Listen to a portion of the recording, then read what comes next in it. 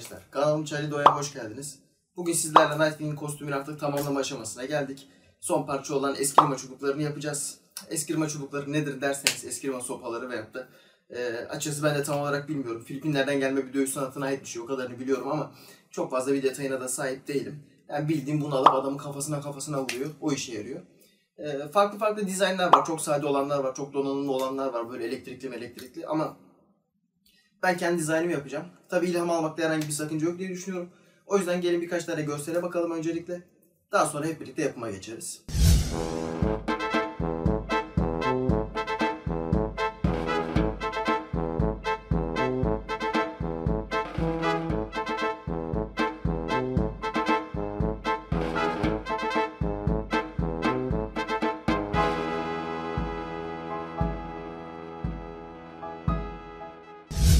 Evet görselleri gördünüz. Dediğim gibi farklı farklı dizaynlar var. Ben kendi dizaynımı yapacağım. Basit malzemeler kullanacağım. Sizler de aynılarını kullanabilirsiniz veyahut da farklı malzemelerle değiştirebilirsiniz. Lafı fazla uzatmayalım. Hep birlikte yapıma geçelim. İşe aldığımız vileda sopasını parçalamakla başlayacağız. Öncelikle şu plastik aksamlardan kurtulmak lazım. Onların herhangi bir işlevselliği veyahut da bizim görselde tamamlayacak bir özelliği yok. Onları dilemenin bu işte ağır şeyleri kesmek için kullanılan ucuyla öncelikle yerinden söküp atıyorum. Ee, bazıları biraz zorluk çıkarabiliyor. Daha sonra zımparayla bu uçları temizleyip elimi kesmesini engelliyorum. Ee, Vileda sopasının ortasını ölçtükten sonra bir maskeleme bandıyla orayı düz bir çizgi haline getiriyorum.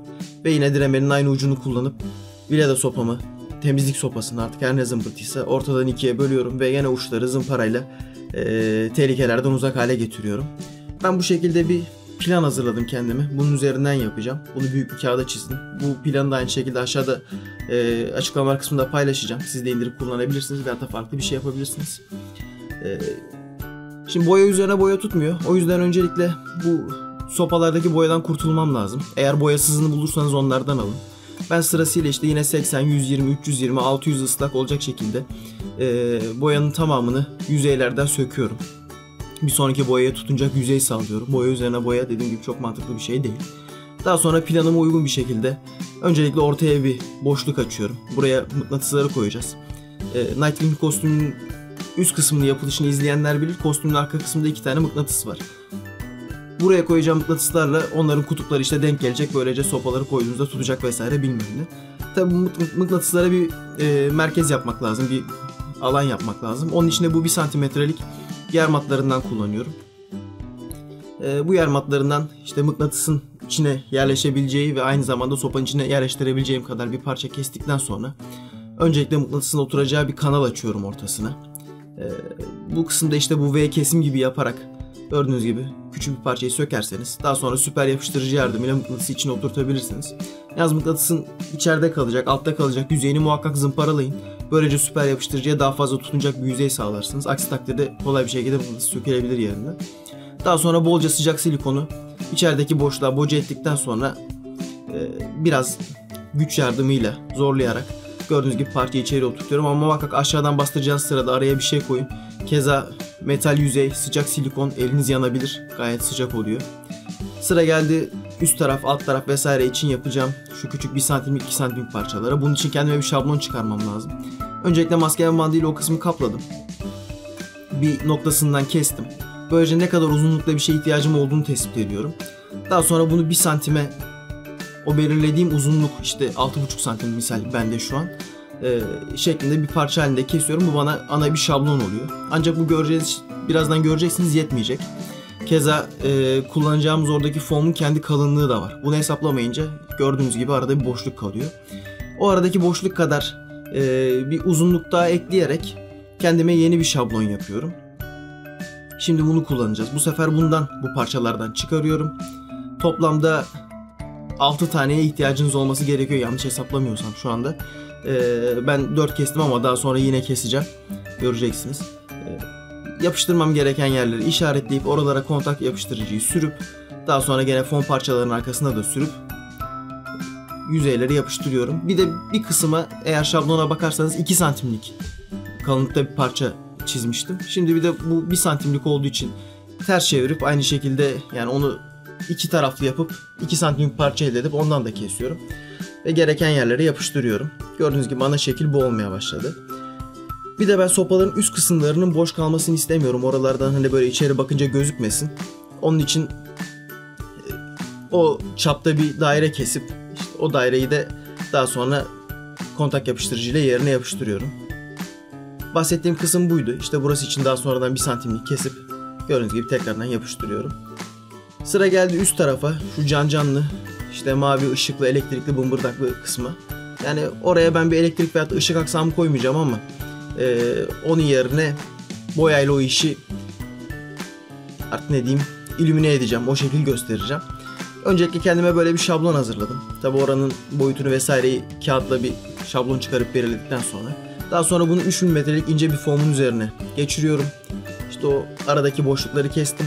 Daha sonra bunu sopanın üst kısmını yapıştıracağım. Bu kadar ince detayların olduğu parçaları yapıştırırken tavsiyem süper yapıştırıcı kullanmanız. Kontak yapıştırıcı çünkü aradaki boşlukları kirli bırakıyor ve onu temizlemek çok zor. Daha sonra Dremel'le uçları vesaireyi biraz yuvarlatıp temizliyorum. Böylece bana araya nerelere ders sürmem gerektiği ortaya çıkacak. Gördüğünüz gibi bu tarz boşluklar var. Bunları da esnek olan herhangi bir derzi kullanabilirsiniz arkadaşlar. Çok önemli değil neyi kullandığınız. Ee, herhangi bir önemli olan esnek olması, boya tutması vesaire. Ee, derzi de yedirdikten sonra son zımpara işlemini yapıyorum. Kenarları yuvarlatıyorum vesaire. Gördüğünüz gibi 3 aşağı 5 yukarı daha artistik duruyor artık.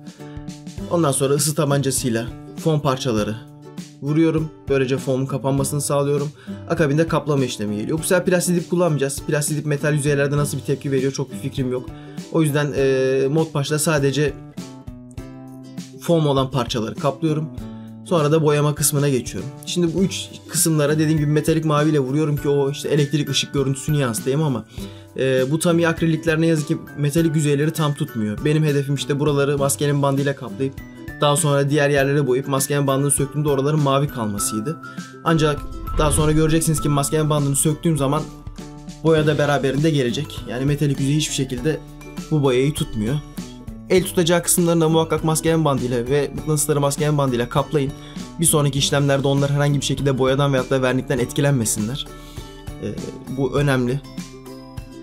Sopaların iç kısmını ve bu fon parçalara astar olarak e, NATO bilek siyahını kullanıyorum Tamiyan'ın ancak dediğim gibi fon parçalarda tutuyor. Metal parçalarda tutmuyor. Daha sonra bu fon parçaların üzerine bir de titanyum gümüşle vuruyorum.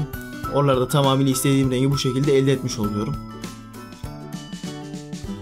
Ama daha sonra o masken bantlarını sökerken gördüğünüz gibi hem sopada hem de e, mavi kısımlarda metalik mavinin olduğu yerlerde boya sökülüp geldi. Bu sefer tam tersi bir işlem yapıyorum. İç kısımlarını maskelen bantsız bırakıp dış tarafları kaplıyorum. Fon parçaları kaplıyorum. Çünkü onlarda boya kalıcı oluyor. Herhangi bir şekilde sökülmüyor.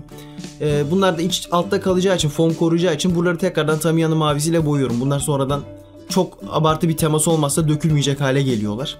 Ancak parmağınızla kazırsanız da çıkar. Onu da belirteyim. Oralarda o istediğim mavi efektini elde ettikten sonra e, sopaların iç kısmında ben normal siyah sprey boyayla boyadım. Siz de aynısını yapabilirsiniz. E, videonun sonunda da belirteceğim. Boya işlemini korumak için de en son sprey vernikle boyayı koruma altına alıyorum. Sıra geldi el tutacağı kısmına. Ben bu tenis raketlerinin işte tutacak kısmına sarılan bu zımbırtıdan aldım. Ne olduğunu tam olarak bilmiyorum. Ee, onu sadece beyaz rengi vardı aldığım yerde. Siyah varsa diğer silahını veyahut da istediğiniz bir renk varsa alıp onu kullanabilirsiniz. Ee, istediğim renk olmadığı için ben onu alıp kendim rubber black ve siyah boyadım Tamiya'nın. Bunlar da Tamiya boyaları tutuyor bu arada herhangi bir sıkıntı yaşatmıyor. Ufak dökülmeler oluyor ama o kadarından rahatsız olmadım. Sonuçta hani elin tuttuğu bir yer orada aşınma olması güzel bir görüntü. Bana sorarsanız en sonda bu mıknatısları koruyan Maskene bantlarını söktükten sonra işlemi bitirmiş oluyoruz. Gelin neye benzemiş? Hep birlikte bakalım.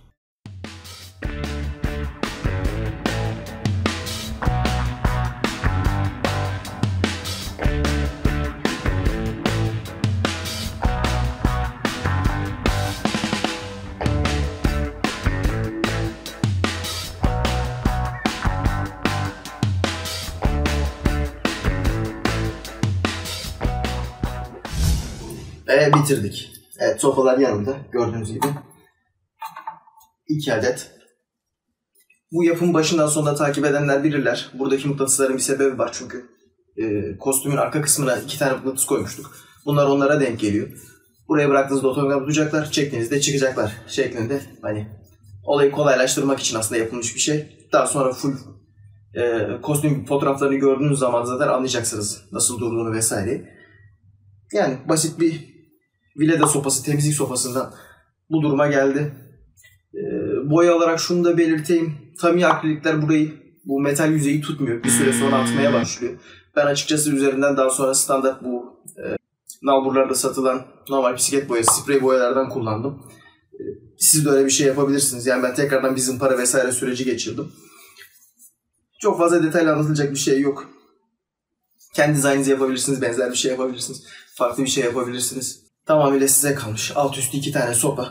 Eğer bunlarla ilgili görüşleriniz varsa lütfen aşağıda yorum kısmında yazın. Kanalıma abone olun. Beğenin, paylaşın vesaire bilmem ne çok da önemli değil. Bunlarla birlikte Nightwing'i bitirmiş olduk. Yakında full fotoğrafları da e, sosyal medya hesaplarından, Vero'da, ne bileyim Instagram'da vesairede görebileceksiniz Twitter'da. E, onları da takipte kalırsanız yine oralarda da görme şansınız var.